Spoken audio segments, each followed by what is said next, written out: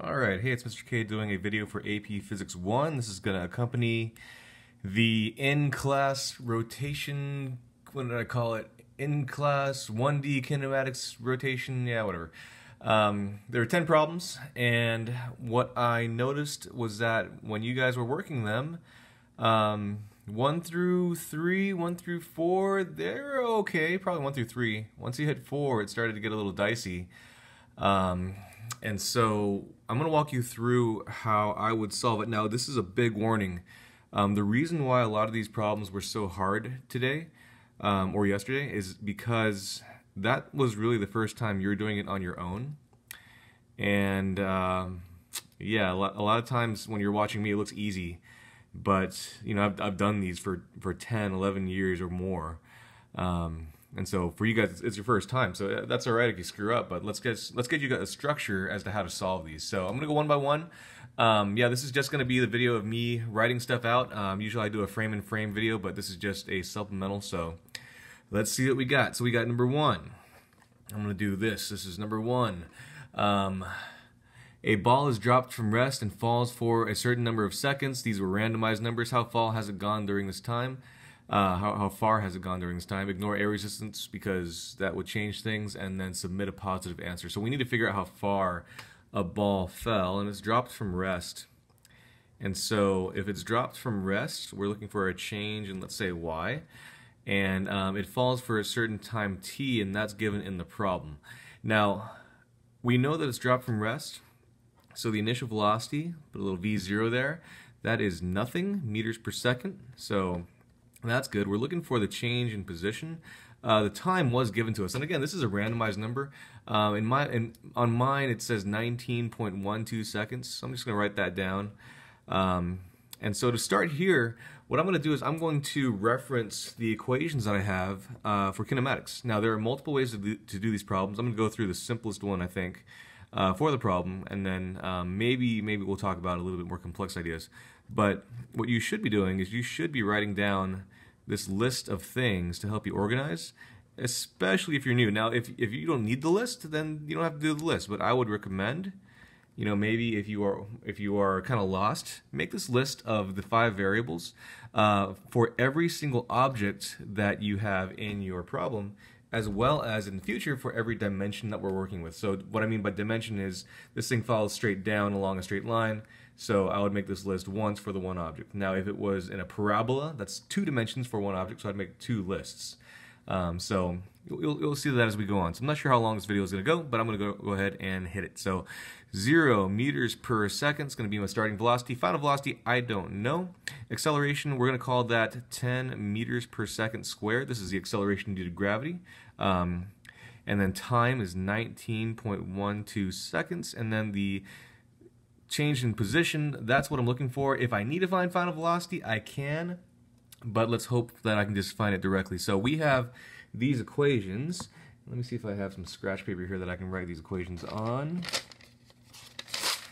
And I'll, we will reference these for almost every problem here. So final velocity is equal to initial velocity plus acceleration times time. Uh, final velocity squared is equal to initial velocity squared plus 2a, the change in position. In this case, we're using y instead of x. Uh, and then change of position is equal to the initial velocity times time plus 1 half a t squared. So if you need to pause this video, do it. If you need to rewind this video, do it. Um, we're just going to, I'm just going to keep on going here. So looking right here, I have the change of position. That's what I want. Um, there are two equations that have that in it, the second equation and the third equation. Um, I guess there's another equation that we can write that the average velocity is going to be the initial plus the final divided by 2, assuming a constant change. And then um, it's also equal to the change in position total over the change in time. Uh, that could be useful. And a little bit of a rearrange here. This might also be useful. So that's that's just the same equation, just reworked a little bit. So looking at this again, we want the change in position. So of these equations, these two have it. Now I notice that I don't have the final velocity. This equation requires final velocity to solve, and uh, I don't have it. So that kind of tells me I'm just going to use this equation here. And um, if I work that out, my change in position y is equal to my initial velocity, which is nothing, uh, multiplied by my time, so it really, really wouldn't matter. That would just all go away. I'm just going to cross that out. Uh, plus 1 half the acceleration, that's 10, or negative 10 if you want it to go down um, as negative, times time squared. And that time, again, for me is 19.12 seconds.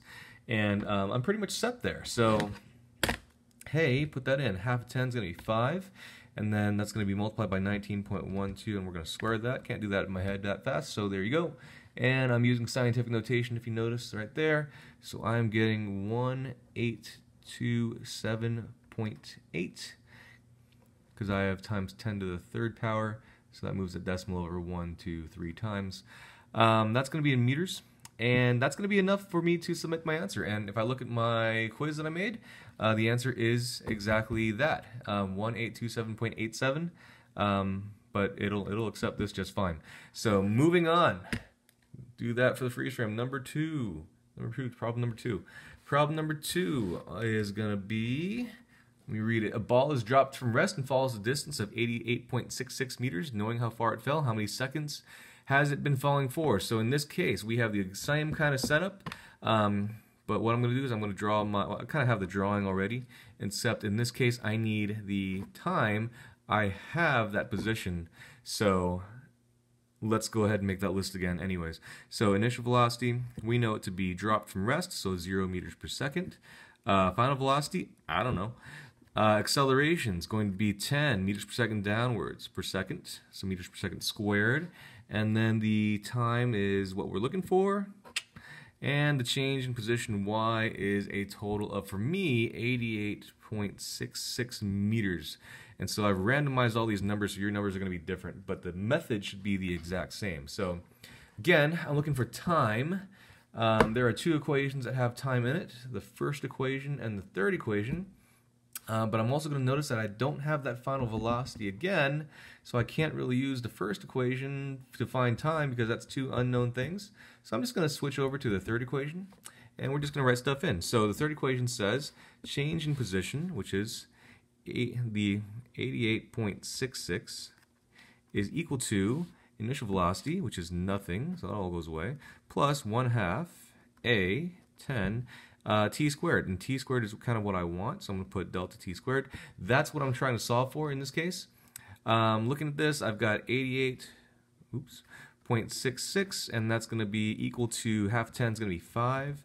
And then I've got a delta t squared. Um, a little bit of algebra says that I should probably divide by 5, so 88.66 divided by the 5 will give us the t squared. And of course, to get rid of the square, we're going to square root both sides. So Let's see if that'll get me my answer. 88.66 divided by 5 and then square rooted, screwed, uh, gives me 4.211 and 4.211 seconds will be the unit. Uh, and that is the correct answer for number 2. Moving on. Number 3. 3. Um, number 3 says that a ball is thrown with an unknown initial velocity. Uh, that means it can be thrown up or down. So I don't know what that initial velocity is. I just know that it's thrown. Um, if it is in the air for 4.61 seconds, so I do know the change in time, 4.61 seconds. You see how I'm writing stuff down as I'm reading it? And ends up at a final position of negative, so delta y is negative 123.99 meters. Um, da, da, da, da, consider up to be positive and down to be negative. I need to find out the initial velocity of the ball. Do, do, do, so let's see. How could I figure this out? What am I missing right now? Do I have final velocity? Um, no. Do I have the acceleration? And I should because we know that it is in free fall, so it's like just due to gravity. So I'm going to put 10 meters per second squared, but I'm going to make it negative 10 because in this problem the negative actually matters. Um, we could have upwards motion then downwards motion. So here are my five things. Here's my list again. And I'm looking for the initial velocity. And so if I'm looking for initial velocity, I don't have that final velocity once more. Um, so if I don't have final velocity, that kind of gets rid of these first two. and I'm looking for this initial velocity. I have the change of position. I do have the time, I believe. I do. Uh, and I have the acceleration. So I'm going to use that third one. And so um, to, to, do that third one, I'm going to I'm going to write it down fully. In this case, the change in position y is equal to the initial velocity times the time uh, plus 1 half the acceleration times the time squared. Uh, at this point, you could plug in numbers, but if you want to, you can also just straight up solve it algebraically. Um, some of you hate this, but you're going to have to get good at this too. So I want that v initial. Um, let's move this crap over. So let's move all this over to the other side. And right now it's being added, so I'm to subtract it. So the change in position y minus 1 half our acceleration, and that negative is going to cancel out when we plug in the 10, so don't worry about that too much. Um, so minus the delta t right there, and that is equal to the initial velocity times the time, and my last step would be to move that time over, and so I have all this stuff, minus 1 half a delta t squared, and all that's going to be divided by that time again and make sure that it is all divided by it and that should equal your initial velocity. Um, now we can plug in numbers. This is our final equation, so really you can just plug in all your numbers straight to this, no matter what numbers you get.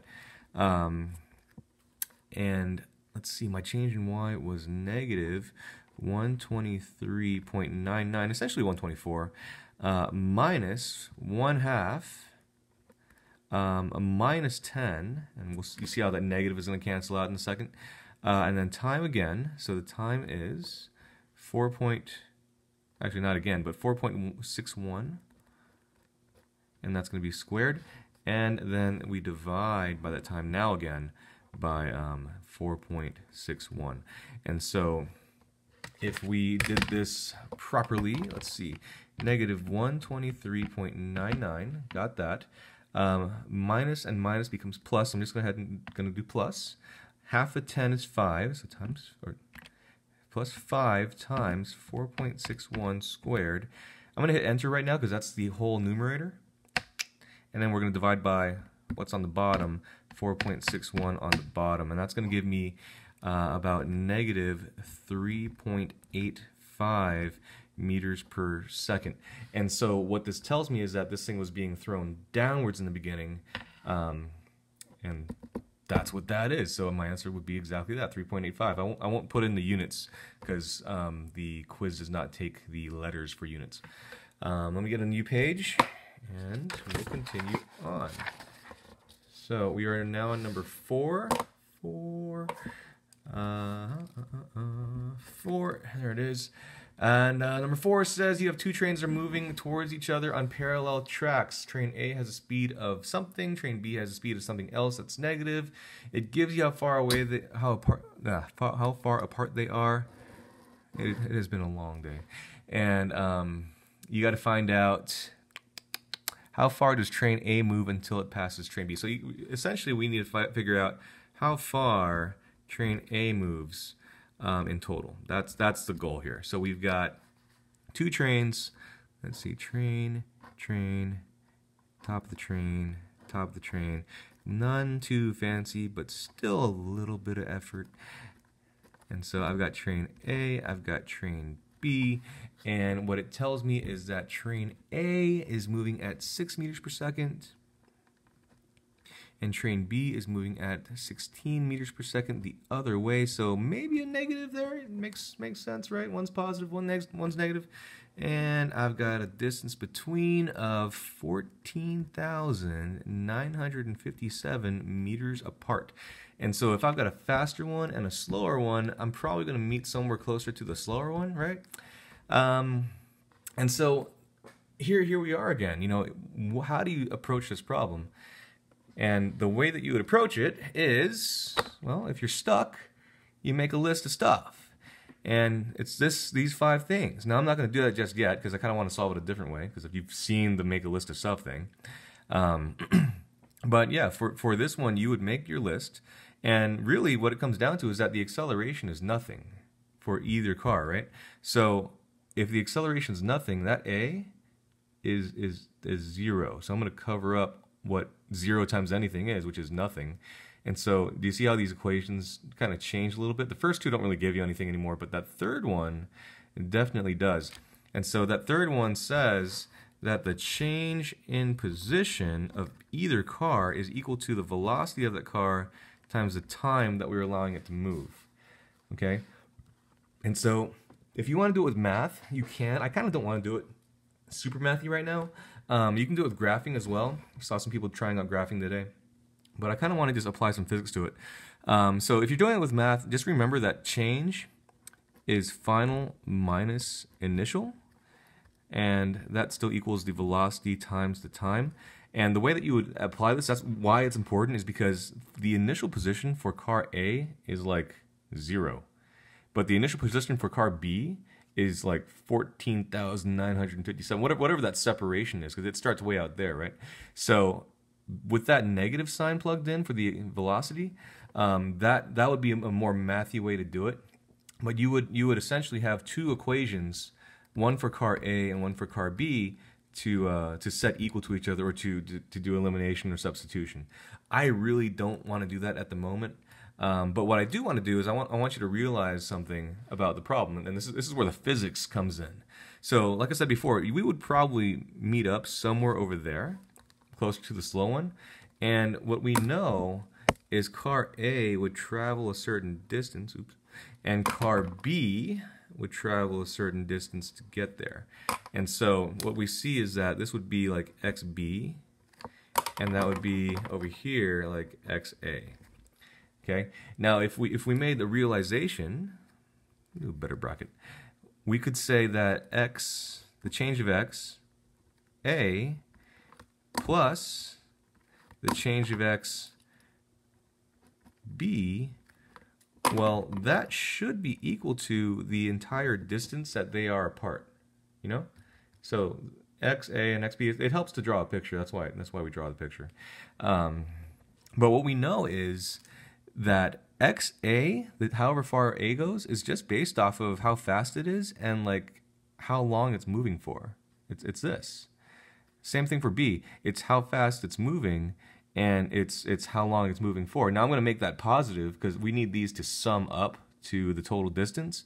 If I made the uh, velocity b and plugged it in as negative, then we'd be subtracting, and, and that wouldn't work out. So let's say that the uh, change of position a, that's that's going to be like 6 for me, or velocity a, I'm just going to write it in variable format for right now, times the change in time, and we're going to add that to the uh, same thing for b, times the change in time. Now these changes in time are the exact same number, right? Because they start at the same time, they get there at the same time.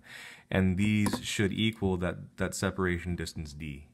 Um, well, that's that's kind of, that's good. That's good. I think that's really good because this is what my problem: six uh, delta t plus sixteen delta t, and this is equal to that big number fourteen nine five seven.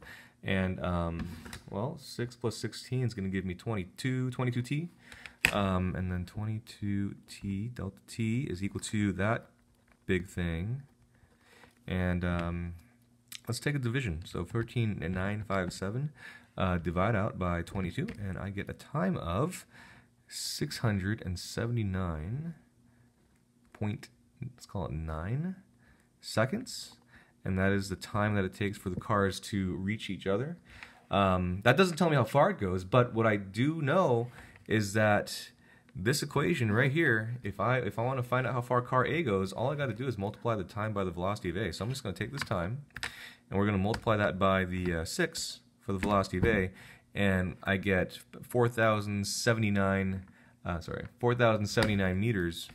Um, so XA is 4,079 meters and that's how far A goes before it hits B. And of course, B would have dif the difference between 14,957 and 4,079.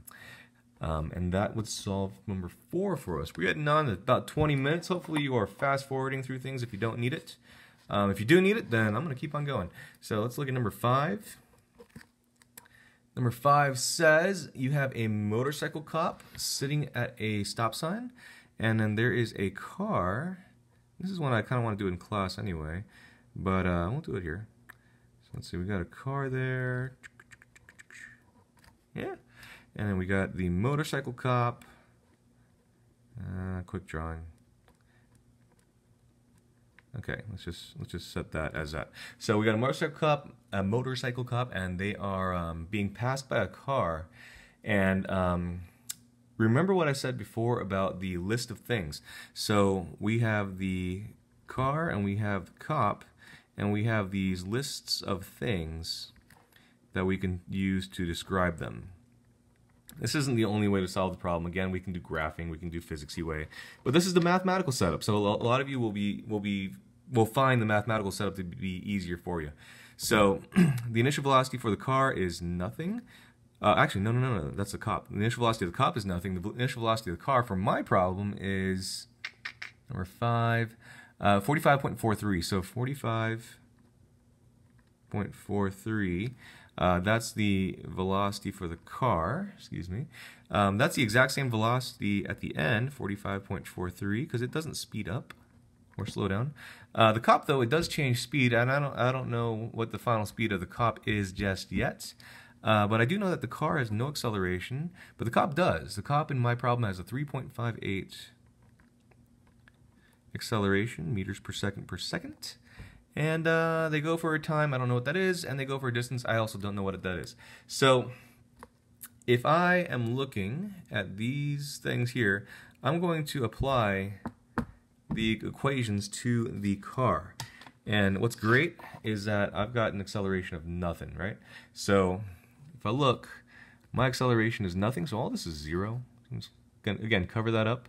Um, so that really leaves that last equation good for the car. So the car, it goes a certain distance, um, and it's going to go at the velocity of the car, 45.43, and it's going to go for a certain period of time.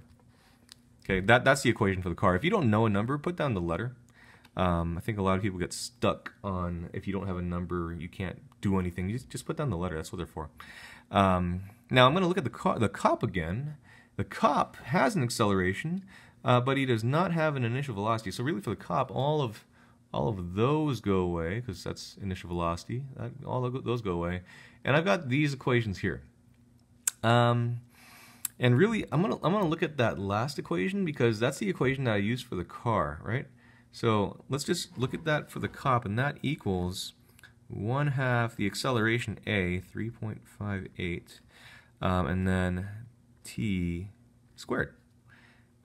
And, um, okay. Well, I have two equations that really equal the same thing. So really, these two equations are equal to each other. And I could solve this for time. Now, I really want to find that position, but if I solve for time first, I can find the position by just replugging that value in. So let's just do some quick math here. If I have the left side equal to the right side, you see the t and the t squared? I can get rid of one of those, dividing by t. Um, and then I've got 45.43. Where'd my calculator go? There it is. 45.43. And I'm going to divide that by 3.58. And I'm going to multiply that by 2. And um, I get a number that's 2 point, actually 25.4 seconds. So the time is 25.4 seconds. And uh, like I said before, if we know the time, I can just plug that in right there and get how far. So let's multiply that by 45.43, and I get, um, like what, 1,153 meters? Yeah, 1,153 meters. 1,153 meters is how far the car would travel before getting caught by the cop, or how far the cop would travel by uh, before getting caught by the car. So um, there's a faster way to do this, and all you really need to do is the the cop is like speeding up, right? So if the cop is speeding up, when you know his average velocity is changing, when the cop's average velocity is the same as the car, he's caught the car. And that that's kind of you, you might have to go back, rewind, and rethink that. But when the cop's average velocity, it's increasing the entire time because he's accelerating. Um, when his average velocity reaches that of the cars, they've they've hit the same spot because they've go- been going for the same time. So remember, like average velocity times time is how far. They've been going for the same time. So whenever their average velocities are the same, they they reach the same spot. Um, just to, to, prove it, um, we need the cop's average velocity to be 45.43. So the cop starts at zero. Um, if the average is 45.43, that's right in the middle. So I'm just going to double it. And um, he's accelerating at a rate of 3.58. So I'm just going to divide that. And then um, that that gives us a time that we might find familiar, which is like 25.4. Takes that long for the uh, cop to catch up. And then uh, you just replug that in and just multiply by 45.43 done. So um, careful on trying to use the physics though, because the physics is what's new, the math is what's old. Um, you're better at math than physics right now, guaranteed. So um, be careful. Um, we're gonna go on to number number number six. Number six. So number six says a car driving with an initial velocity of something is traveling in the same direction as a train moving at constant velocity of 20 meters per second. If the car is currently near the back of the train and the train is so far along, how long does it take for the car to pass the train? So we've got number six here. I'm going to use this space on the right side of my page. And I've got a, um, a train, let's say, and that train is yay long, and we've got a car that's in the back of it. I'm, I'm, I'm going to be lazy about it, sorry. Um, train, and this is the car. And what we know is, uh, or what we want rather, is we want the time. So the time is our big question mark. Um, we have two things. If you want to do it the mathy way, again, you, you make that list of the five variables for the two things. Um, but I kind of want to do it in a more physicsy way. So I know that the car is driving with an initial velocity of 24 meters per second. V car, put VC for that. Um, it's moving in the same direction as a train, moving at a constant velocity of 20 meters per second, V train, um, VT. And uh, the train is 162 meters long, so it's got 162 meters is how far the car needs to catch up. Now, if you if you've ever if you've ever driven behind somebody, it doesn't matter how fast they're going It doesn't really matter how fast you're going. What really matters is how fast they're going compared to you overall. So, you know, if you're going at 10, if you're going at 10 miles per hour and they're going at 15 miles per hour, it's really that 5 mile per hour difference that matters. If you're, if you're going at 65 miles per hour and somebody that's going at 70 miles per hour, it's really that 5 miles per hour difference that really matters. Um, and so we're going to kind of use that here. So the train's going at 20. How much faster is the car going compared to the train? And in my problem, it's 4. so what I'm going to do is I'm going to make that train go at zero meters per second by, by taking away 20 meters per second from it. Um, that's going to alter my problem a bit. That's going to alter my perspective. It's like I'm watching the train moving to the right, but I'm, I'm like moving my head with it. So it it doesn't really look like it's moving if I only see the train and nothing else. Um, but I'm going to go ahead and take away 20. If I do that here, I'm going to have to take away 20 over here meters per second, right? And that gives me a total of four meters per second. And now this is called a frame of reference problem. So th that car is moving at four meters per second compared to the train, and the car just needs to go like that far. So if we reference before, velocity times time equals change of position, um, the velocity times the time times is equal to the change of position. Uh, the velocity is 4. The time's what I want. The change of position is 162, and um, divide. so 162 divided by 4 is going to be fantastic, and I get uh, 40.5 right there. And that's my time. Number seven. Number number seven. Yeah. Okay. Number seven. Let's get a new page. Seven says you drop a rock off a cliff. 2.4 seconds later, you hear you drop a stone. How far apart are the two objects after the stone has been falling for 2.2 seconds? So, let's see, number seven, you drop a rock and then it falls for 2.4 seconds. 2.4 seconds of fall equals change of time 1, let's say, subscripts. Um, and then after that, you drop a stone and so at that time, you drop a stone and it falls for 2.2 seconds. Of course, the rock is still falling during that time. Um, you want to figure out how far apart the two objects are. So really, you know, we're looking at changes of position and where things are. Um, we're looking at we're looking at this equation, honestly. Um, initial velocity times time plus one half a t squared. So that equation is what's good for us here. I, am dropping both of them. So yeah, get rid of that. Um, so if I can find out like where they're at after their respective times of falling, then I can just subtract those two. So like the rock, it says um, I drop it and it falls for 2.4 seconds before I drop the other thing. Um, but then, you know, as the other thing's falling, 2.2 seconds, the rock is still dropping, right? So the total time of the rock is 2.4 plus 2.2. That's 6.6. Or actually, not 6.6. 4.6 seconds. Okay, that's the total time of fall for the rock. The stone is falling for 2.2 seconds, and we just drop it from there. So we got to compare how far these things have gone. Um, so let's use A is 10, right? So that's going to be 5 times t squared. And uh, this is equal to the change of position y, let's say.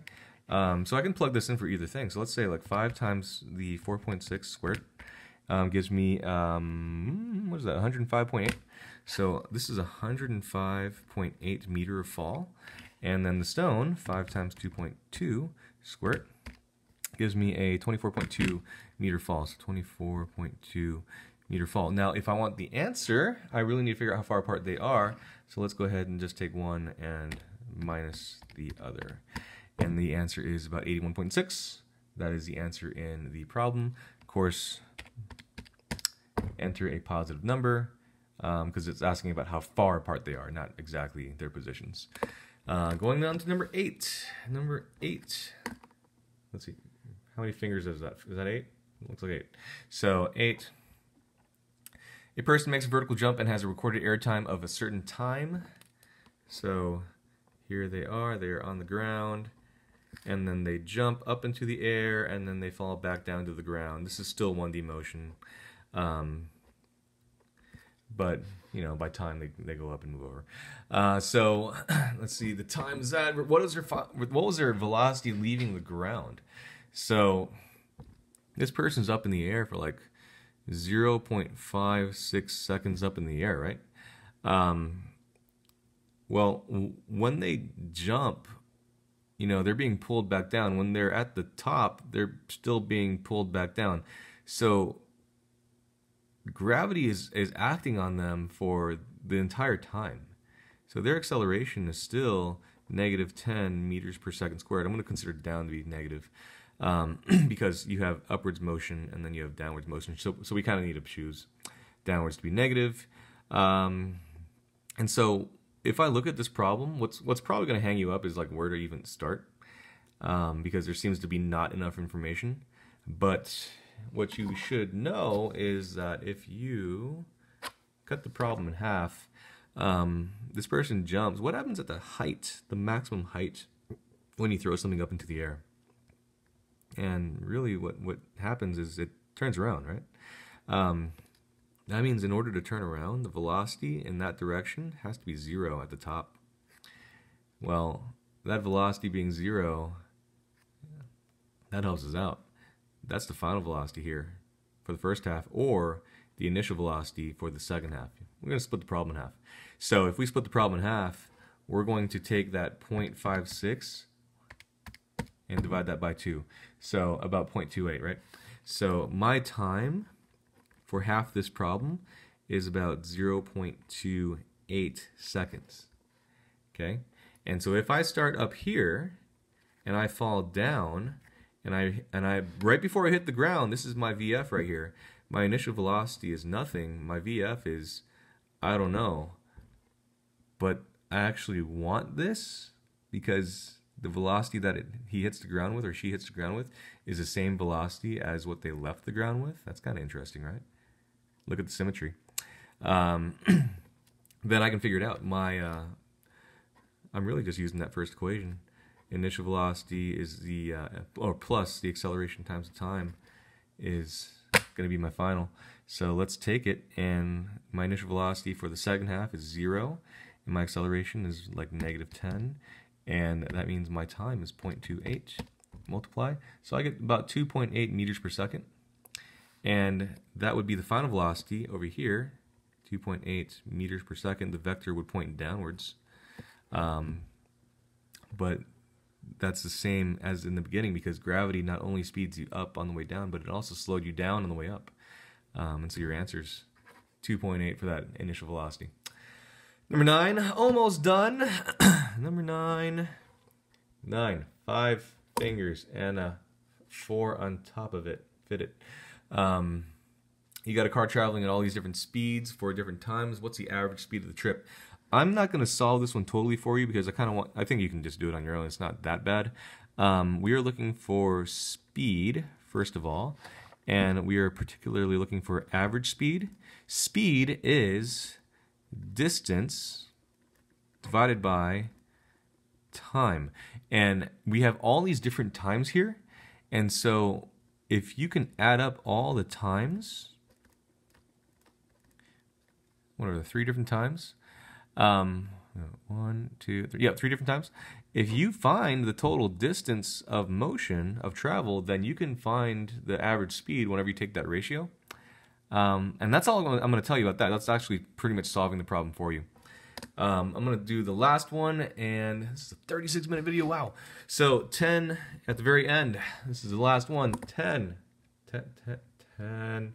Um, It says the driver of car is speeding down the road. When they notice the red brake lights coming up fast, they slam on the brakes and skid to a stop with just a few inches before the stop traffic. If the driver, if the driver of the speeding car typo um, was moving three times their initial speed, how much farther would they need in order to stop? Answer in multiples of their initial stopping distance. So this is actually from driver's ed. Um, and what you need to know is that you have an equation already that kind of tells you this. You have this equation, initial velocity time plus 1 half at squared. And um, you also have this equation here, vf squared equals v initial squared plus 2a, the change in position. So if you were looking for the time to stop, you'd probably look at the first equation. Okay, if you were looking for the, um, actually maybe the first equation over here, I'm sorry, that would be even easier, wouldn't it? Anyways, you have these three equations, haha, but if you're looking for how far you have to go before you need to stop if you're moving faster, you're probably looking at this guy. So, your final velocity better be zero because you're trying to stop. So that's just zero. Now, if we want to figure out how long, how far you would have to go before you stopped, you would have to understand that what's stopping you, if you're slamming on your brakes and you're, you are skidding to a stop, your acceleration, no matter how far you go, is pretty much the same thing. Okay? Because you're, you're working with something called kinetic friction, and we'll, we'll talk about that later. But the acceleration is the same for either case. What's changing here is your initial velocity, and by response, your change of position. So your initial velocity is equal to 2 times the acceleration times the change of position. Um, those two things need to be equal to each other because essentially one is being subtracted or added to the other, um, and that has to equal zero. So these two things need to be the same size at least. So if you were to look at this, if A is constant, you can make it whatever number you want. I'm just going to make it 1 for now.